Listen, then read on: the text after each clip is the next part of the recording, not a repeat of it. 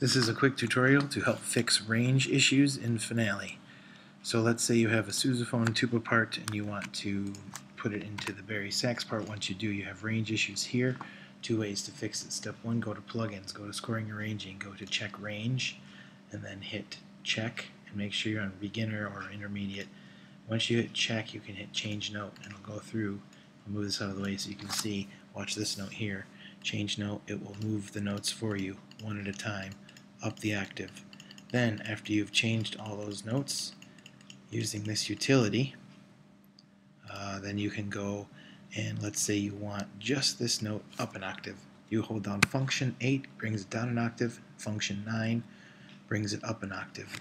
On Windows it's a different keystroke. I think it's like command or something, or shift something else, but uh, makes for transposing up and down an octave very easily. Function 8 or function 9 is the octave jump.